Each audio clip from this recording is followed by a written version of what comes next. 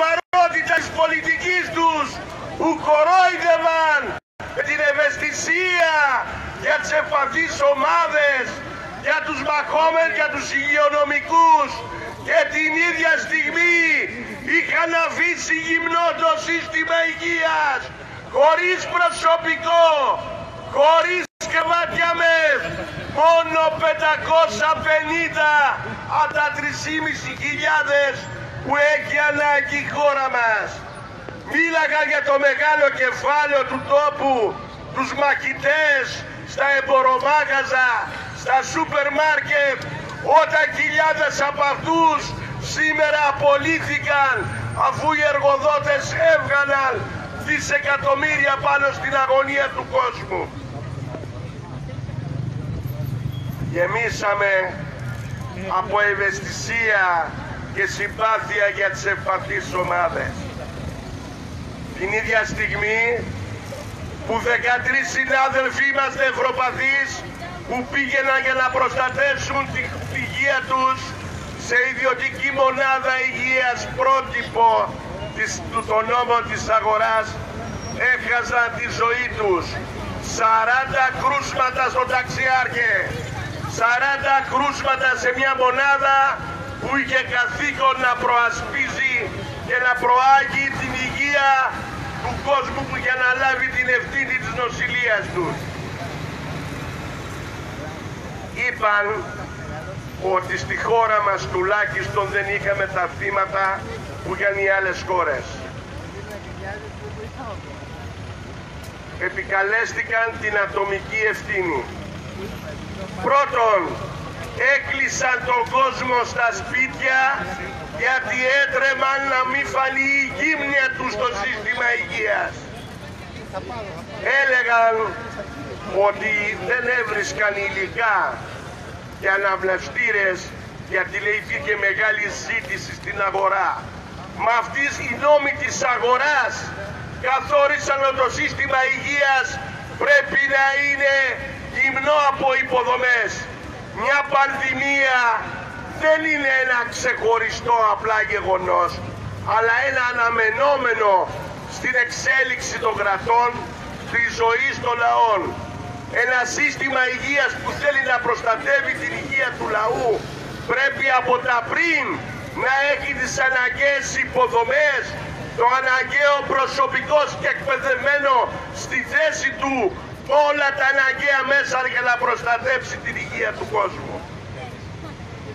Όμως αυτοί για να εξασφαλίσουν κονδύλια, για να στηρίξουν την επιχειρηματική δράση, μείωσαν στο ελάχιστο τα τελευταία χρόνια τις δαπάνες για το σύστημα υγείας. Την ίδια στιγμή που με κρατικές επιδοτήσεις, συμβάσεις με τα ασφαλιστικά ταμεία γιγαντωνόταν ο ιδιωτικός τομέας, που αφού πιατσικολόγησε με την ανάγκη προστασίας από τον ιό πουλώντας 300 ευρώ τα τεστ όταν τους στήχησαν μόνο 9 ευρώ τεστ που τα έκαναν στο δημόσιο σύστημα υγείας όταν οι ασθενείς νοσούντες από κορονοϊό περίμεναν και μια εβδομάδα τα αποτελέσματα.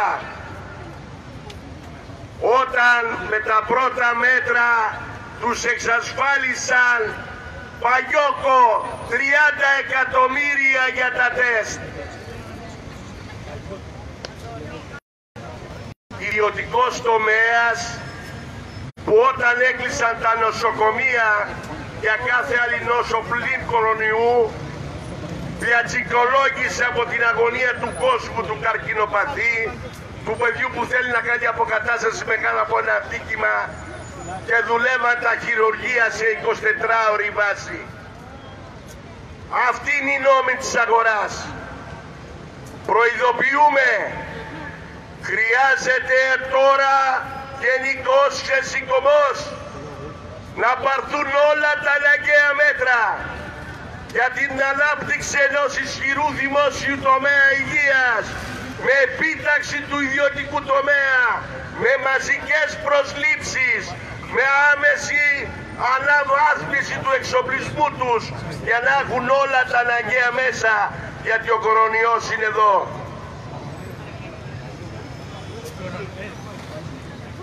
προπυλάκησαν τον παππού και τη γιαγιά που στεκόταν έξω από τις τράπεζες ακουμπώντας ο ένας δίπλα στον άλλον περιμένοντας να πάρουν τη σύνταξή τους των 300 ευρώ ότι φταίνε λέει για την επέκταση του κορονοϊού.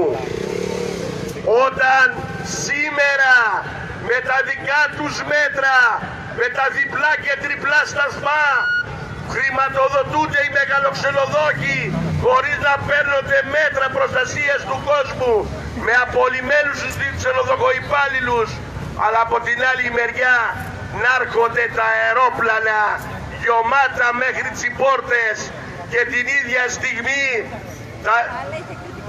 να ελέγχονται οι ταξιτζίδες και οι επιβάτες αν φορούν μάσκα και να επικαλούνται ότι δίθεν χαλάρωσαν τα μέτρα και τα πανηγύρια συμβάλλουν στην επέκταση του κορονοϊού. Προειδοποιούμε. Μην περιμένετε από αυτό το κράτος και τις κυβερνήσεις τους να έχει πολιτική με κριτήριο τις δικές μας ανάγκες και την προστασία της ζωής μας. Το ζήσαμε με τις θεραπείες των ΑΜΕΑ όταν που χτίζαμε από την ευπάθεια, από την ευαισθησία και την ίδια στιγμή χιλιάδες, δεκάδες χιλιάδες χρόνοι πάσχοντες ανάπηροι σταματούσαν τις θεραπείες τους στο όνομα του εγκλισμού. Αλήθεια, θα κληθούν οι ιατρικές σχολές να κάνουν έρευνα για το ποιες ήταν οι επιπτώσεις στην υγεία, στη ζωή των ανθρώπων που κλείσαν, σταματήσαν οι θεραπείες και κλείσαν τα νοσοκομεία για κάθε νόσο πλήν κορονοϊού. Θα μας πούν που έκαναν αποκατάσταση αυτοί που έβγαιναν από τις ΜΕΘ 123 ως τώρα όταν το μοναδικό κέντρο αποκατάστασης παρέμενε κλειστό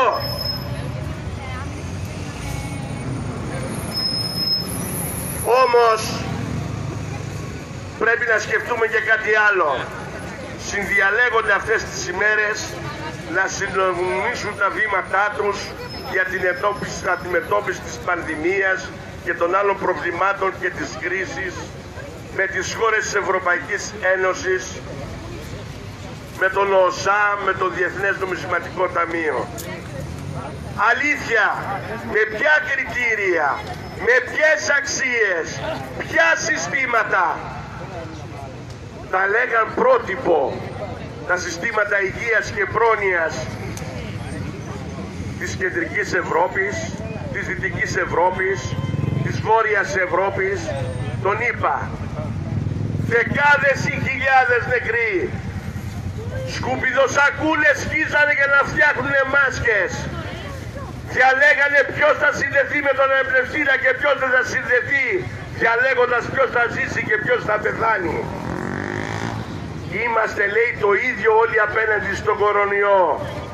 Μα τι να κάνουμε, τα δύο τρίτα των και κάτω χιλιάδων νεκρών στη ΣΥΠΑ, στην Ισπανία, στην Αγγλία, στη Γαλλία είναι παιδιά της εργατικής τάξης άνθρωποι που κατέθεσαν το βίο τους, το μόχθο τους στα συστήματά τους, στα κράτη τους και βρέθηκαν ανυπεράσπιστοι μπροστά στον κορονοϊό.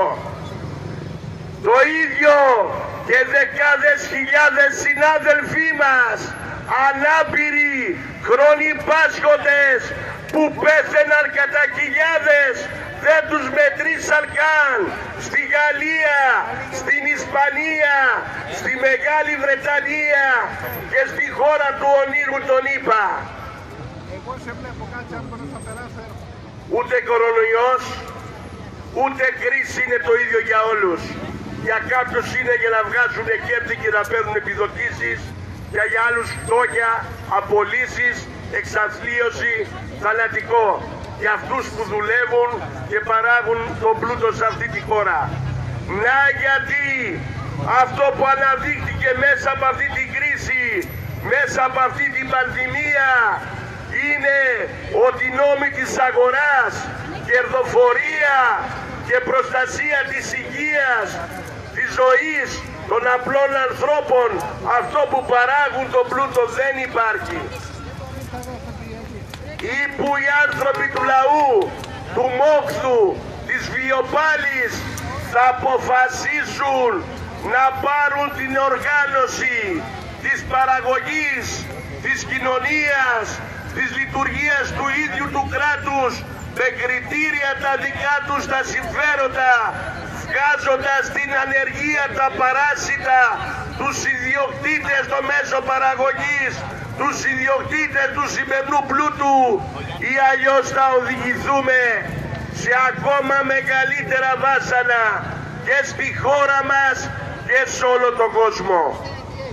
Καμία κρίση δεν ξεπεράστηκε με κριτήριο τα κοινά υποτίθεται συμφέροντα εργοδοτών, πλουσίων και φτωχών ή που θα μας τσαλαπατήσουν, θα καρατομήσουν κάθε δικαίωμα για να εκκινήσουν την οικονομία γιατί αυτό είναι το καύσιμό τους ή που θα πάρουμε την απόφαση να πάρουμε την υπόθεση της ζωής μας στα δικά μας χέρια.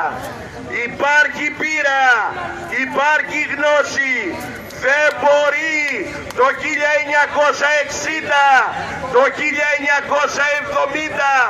το σύνολο των βρεφών στην πρώην Σοβιετική Ένωση και σοσιαλιστικές χώρες να έκανα καθολικό προληπτικό έλεγχο και σήμερα στις χώρες του αναπτυγμένου καπιταλισμού να μην υπάρχουν προληπτικές εξετάσεις, να μην υπάρχει πρωτοβάθμιο σύστημα υγείας.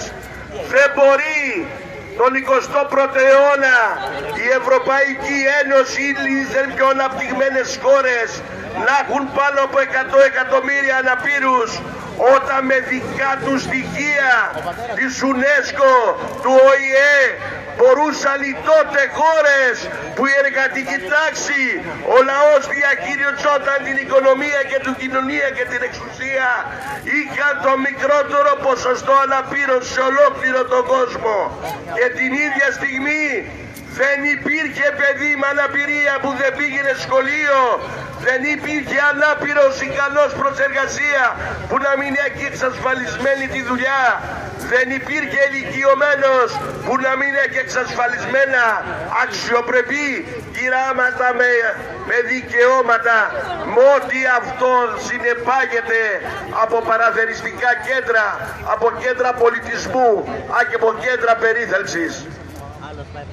Δυστυχώς ή ευτυχώς αντικειμενικά αυτές οι εξελίξεις αυτό το δίλημα βάζουν μπροστά σε όλους μας. Να γιατί λείπουν από τη σημερινή κινητοποίηση οι συμβιβασμένες διεφθαρμένες συνδικαλιστικές ηγεσίες της ΓΕΣΕΕ και της ΑΔΕΔΗ αλλά και οι δικές μας οι δίθεν επίσημες οργανώσεις της ΕΣΑΜΕΑ και της ΠΟΣΚΑΜΕΑ που κομμένες από τις κρατικές επιχορηγήσεις δεν έχουν τίποτα να πούν για τα χιλιάδες θύματα στα ιδρύματα πρόνοιας στις άλλες χώρες αλλά για το σταμάτημα των θεραπείων στη χώρα μας των αναπήρων. Δεν είχαν κουβέντα να πούν για τα χιλιάδες παιδιά που σταματά τις θεραπείες οι οικογένειές τους δεν έχουν να πληρώσουν.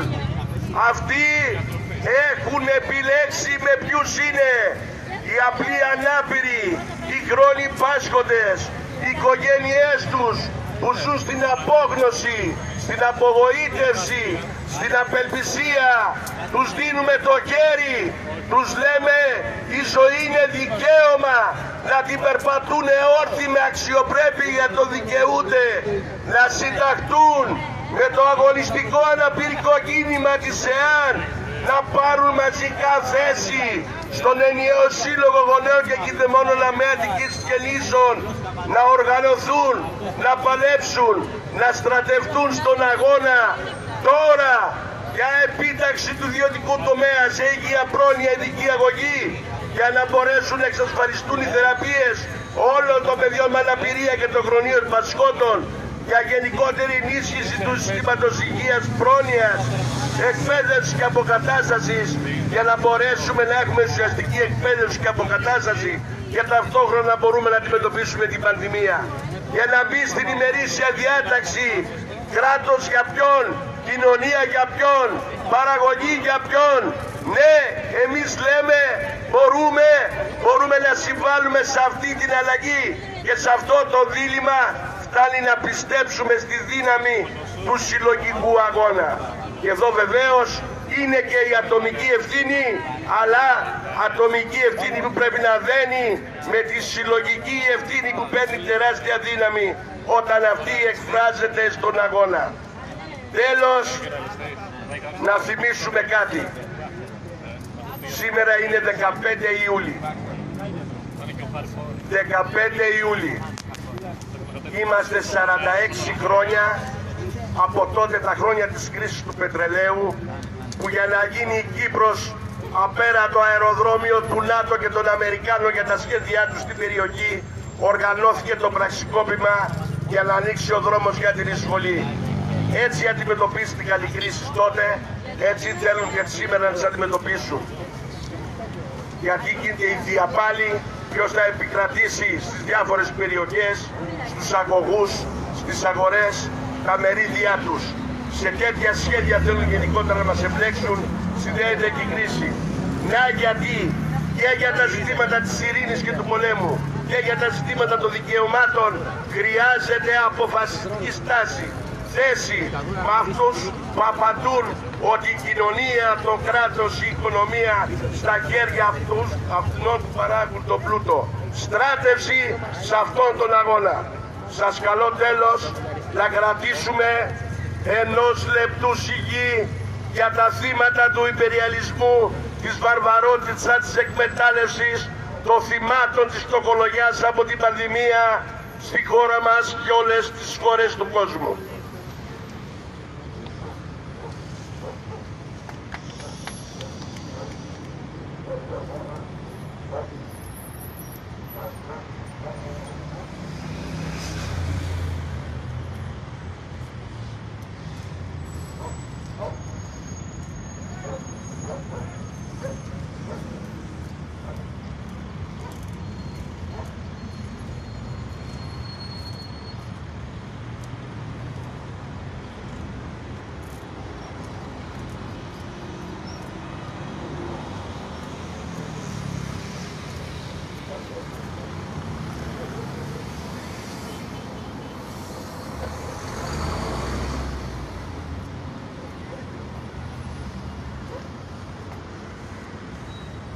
Συνεχίζουμε τον αγώνα. Το γόνατο που μας πατάει είναι η κερδοφορία. Πάμε για ανατροπή και άλλη κοινωνία. Το γόνατο που μας πατάει είναι η κερδοφορία. Πάμε για ανατροπή και άλλη